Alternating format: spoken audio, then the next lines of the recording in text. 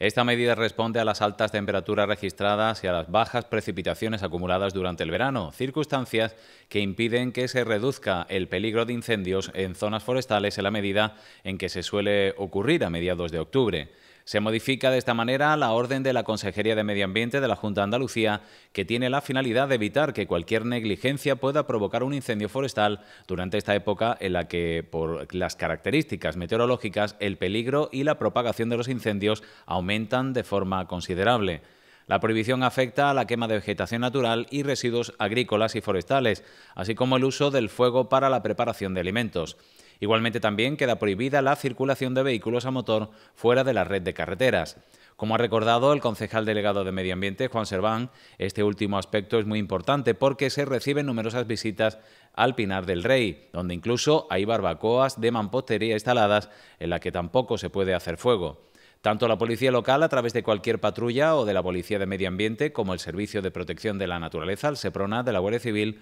pueden interponer denuncias a cualquier ciudadano que no cumpla esta orden. Además, Protección Civil recordará los fines de semana a los usuarios del Pinar que se mantiene esta prohibición.